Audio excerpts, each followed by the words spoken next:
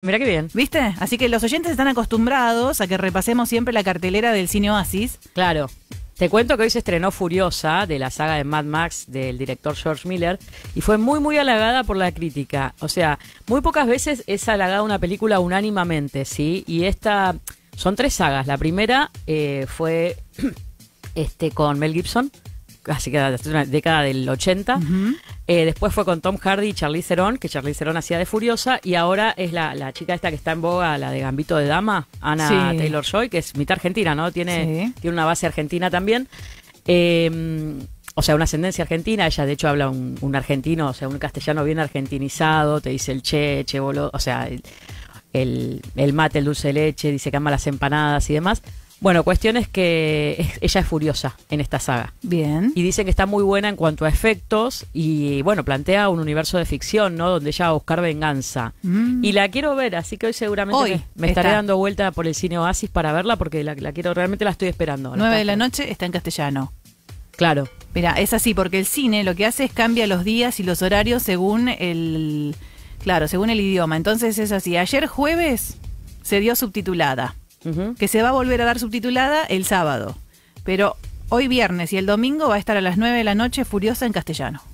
Bien, yo prefiero siempre subtituladas, ¿no? Siempre me gusta más en idioma original, por supuesto, ¿no? Porque- Entonces el sábado tenés que ir. Bien, bien. Eh, igual por ahí viste alguna excepción, porque vos sabés que se me pasó cuando vengo a Minamar, pierdo un poco la noción del tiempo, y yo pensé que hoy era jueves. Por eso no fui ayer, si no hubiese Hoy ido ayer. viernes. Claro, claro.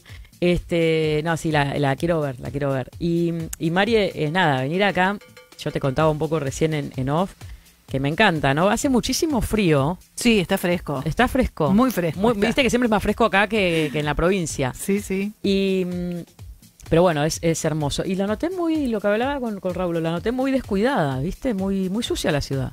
Está un poquito sucio. Sí, nunca la noté así, que la plaza principal esté con el césped largo, no, nunca lo vi. No hay plata, como diría, ¿no? ¿Qué pasa? Que no. No Pero bueno, hay plata. No hay plata, literal. Así que bueno, nada, recorriendo y, y- y sin fecha de regreso, como me gusta venir a mí, pues me traje la compu para laburar desde acá. Y, y bueno, nada, este también voy a mirar pelis desde acá, obviamente. Bueno, vos repasás todas las pelis, las mirás y entonces así después podés hacer ahí tus Claro, siempre en mi- comentarios. en mi página reseño las pelis que veo, los clásicos y las pelis que voy viendo y las series también. Y mi página tiene mucho de, de memes cinematográficos, viste, muchos hechos por mí y, y de frases. Mi página empezó siendo una página de frases.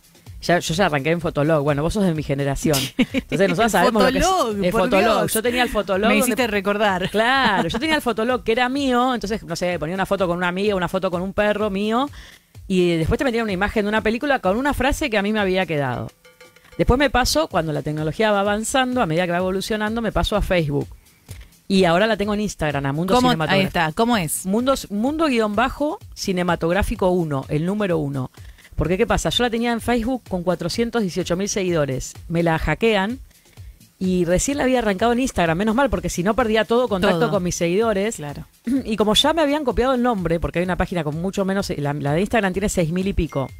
Y cada vez que manifiesto una opinión política o, o tipo fuerte en cuanto a ideología de género y demás, me doy cuenta que pierdo seguidores. Pero bueno, yo digo, me quedan los correctos, ¿no? Es como cuando Los te que mostrás- realmente para vos valen la pena. que Exacto, cuando te mostrás como sos, y yo siempre digo, no quiero que mi página la sigan kirchneristas, o sea, soy muy tajante en Mm, eso. o sea, claro. Eh, eh, fuerte, fuerte y claro. Y no sé, hoy puse una frase de, de Rowling, la creadora de, de la saga de Harry Potter, que ella dice, bueno, los, tra- los trans son eh, hombres disfrazados de mujeres. Y yo adhiero, digamos, es el sentido común. Y me dolió mucho que tanto Emma Watson como Daniel Radcliffe, los actores a quienes ella hizo famosos y, y supermillonarios, la discriminaron a partir de su postura. Y la verdad es que vos tenés que tener un poquito de código y de, gratitud hacia la, mujer que te, lo dio todo, ¿no? Te abrió las puertas del cine y del superestrellato como tienen estas dos figuras, porque Emma Watson sigue siendo una figura y Daniel Radcliffe también. Bueno, ahí me doy cuenta que si bien tengo un montón de seguidores que están de acuerdo conmigo y que comentan, eh, digamos, de acuerdo conmigo, hay muchos que dejan de seguirme por esa opinión, justamente. Sí, es muy normal eso que pasa en redes sociales. Cuando Sí, alguien sí. no opina como vos, enseguida te saca el like o te deja de seguir. Y también cuando yo me manifesté que votaba a mi ley y que no me gustaba el kirchnerismo, eh, También. no, insulto por mensaje interno. O sea, y aparte justo me hicieron una nota en Constitución cuando iba a laburar y fue muy masiva esa nota. Sí, sí, ahí estábamos viéndola Sí. en, en Instagram. Sí, es la que yo digo, eh, me, me voy porque me voy a trabajar, o sea, literal. Y justo me pusieron con mi antítesis, con una señora que era sindicalista UPCN, y ella decía, soy re Néstor, soy re Cristina. Hermosa nota hicieron. Sí, sí, sí, o sea, yo justo pasé y dije, aguante mi ley, y me dijeron, vení, vení, vení. Mm, justito. Justito. Era Y lo me- que no tenías que decir para no caer en el micrófono. Claro, pero- no, pero yo lo, lo- ahí estaban siempre los de C5N en Constitución y ahí realmente pasé, dije, voy a pasar cerca y les voy a arruinar la nota.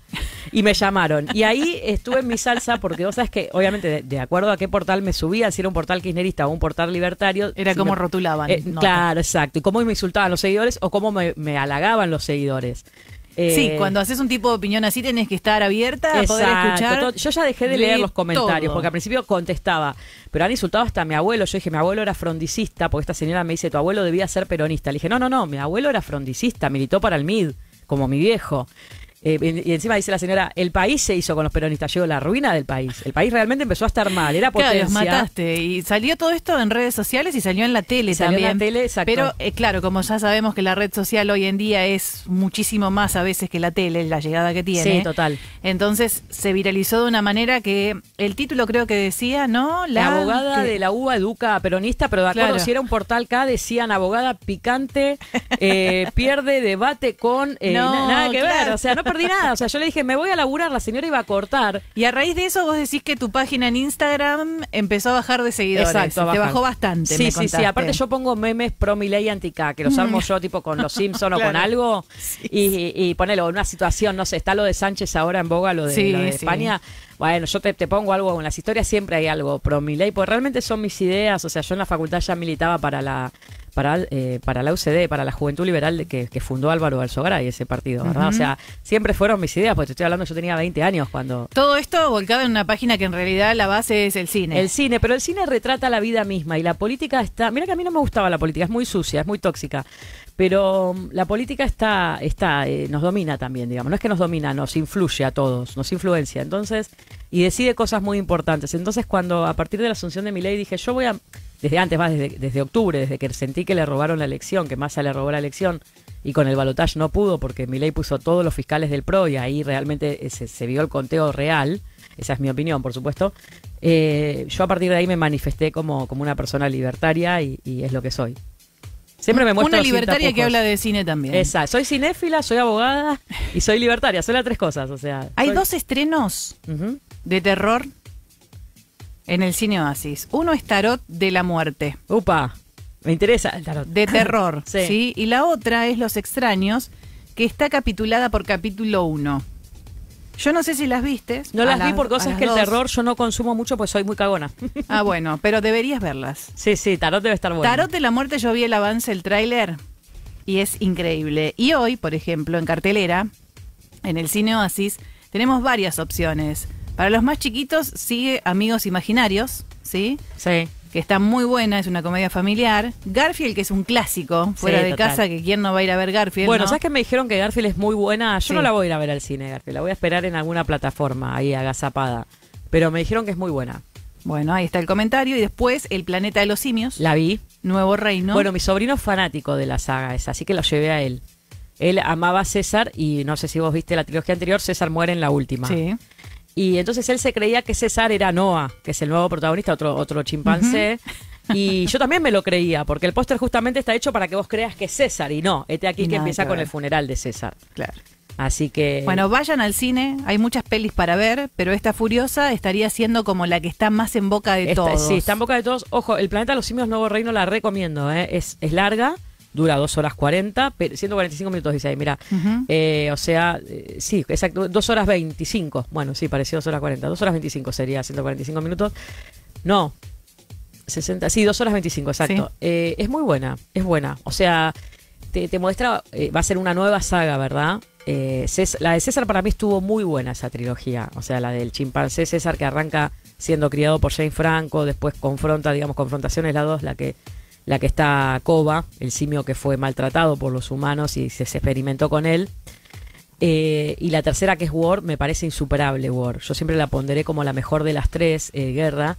Muy buena. Que ahí él se enfrenta al coronel, eh, que es Harrelson, el actor de Harrelson. Qué buena, qué buena antagonismo que hicieron, como que César no perdía su nobleza y su humanidad, ¿no? A pesar de que era un mono. Un mono, por supuesto, evolucionado, porque el ser humano como que involuciona en esta saga. Vos sabés que cuando hablamos de esto es como yo siento cuando hablamos de Terminator y de la inteligencia artificial. No lo veo tan improbable, Mariela. No lo veo tan No. improbable que suceda. O sea, con todo lo que se está experimentando, con la pandemia que, que para mí fue bastante creada en laboratorio también esa enfermedad, el coronavirus, pero no veo tan, tan improbable que, que los monos evolucionen a partir de experimentos o que en 20 años tengamos que hablar de la tiranía de los robots. ¿Cuántas nos- cosas nos han dejado las películas, no? Que las Por vemos hoy en día y que decimos, mirá, esa película re vieja, ya, ya pensaban que esto que pasa hoy iba a suceder. Claro. Y solo hay que darle tiempo al tiempo. Y mira, Terminator nos advirtió, como dije en un video de mi página, que, que esto iba a suceder, la tiranía de las máquinas. Ojo, yo siempre digo eso. Ojo que Terminator nos advirtió en la década del 80, en el 84 es la primera, en el 91 Sí. es la, la 2. Eh, nos advirtió que se iban a rebelar contra los humanos y nos iban a esclavizar o nos iban a, a boletear a todos. Ojo, pues estamos advertidos por la pantalla grande. No sigamos creando monstruos que después nos van a comer, ¿viste? No. Es cierto. Bueno, yo te invito a que hagamos repasos semanales cuando andes por Pinamar, Dale. que te vengas a la radio, pero ahora vamos a invitar a la gente a que te sigan. Decía otra vez tu Insta. Eh, mi Instagram es mundo-cinematográfico y el número uno.